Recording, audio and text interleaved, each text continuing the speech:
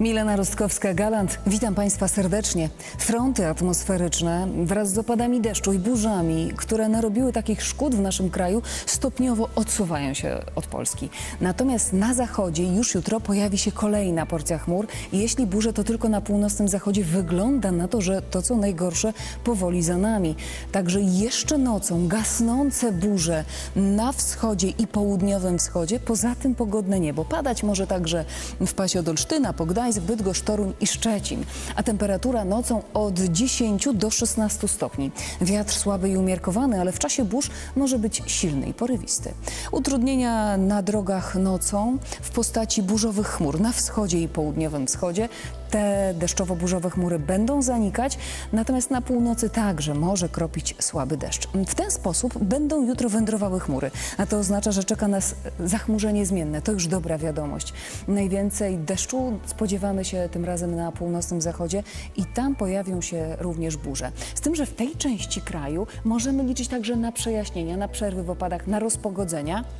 Do południa w Bydgoszczy i w Toruniu nie powinno padać, a temperatura do 21 stopni. Wiatr w czasie burz silny i porywisty. Na Warmii, Mazurach, Mazowszu i na Podlasiu temperatura od 19 do 23 stopni. Północna i wschodnia część tego regionu z opadami deszczu w pierwszej części dnia, a po południu może padać w rejonie Łodzi. Wiatr umiarkowany i słaby. W południowo-wschodniej Polsce temperatura od 18 do 22 stopni. E, Początkowo padać będzie w Kielcach, a po południu dopiero w Rzeszowie. Natomiast na Dolnym i Górnym Śląsku i ziemi lubuskiej więcej pogodnego nieba. Najpierw deszczowe chmury pojawią się we Wrocławiu, a po południu w Katowicach.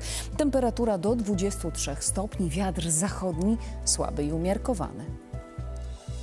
Jutro niemal wszędzie kierowcom przeszkadzać będą opady deszczu, a na północnym zachodzie także burze, wtedy silny, porywisty wiatr. Taka pogoda będzie źle wpływała na nasze samopoczucie w całym kraju, a temperatura odczuwalna niższa od wskazywanej przez termometry i tak od 15 do 18 stopni. Sprawdzamy, co przyniosą kolejne dni, a tu już widać e, poprawę w pogodzie, aż chciałoby się powiedzieć spokój, bo w piątek przelotny deszcz może pojawić się tylko na południowym zachodzie, temperatura do 23 stopni. W sobotę w centralnej Polsce deszcz do 26 stopni. Niedziela bez opadów, temperatura do 24 stopni. W poniedziałek dużo pogodnego nieba, chmury głównie na południu, ale bez opadów. A temperatura od 24 do 26 stopni. Ciśnienie dość wysokie, 1014-1013 hektopaskali.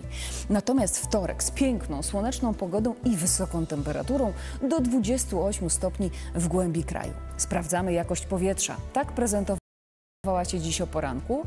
Bardzo dobrze, z małymi wyjątkami w Warszawie i w Łodzi, tu tylko nieznacznie gorzej. A tak raport smogowy wygląda w tym momencie. Więcej informacji między innymi na ten temat, ale również długoterminowe prognozy pogody znajdą Państwo w aplikacji Pogoda Interia. Do zobaczenia. Sponsor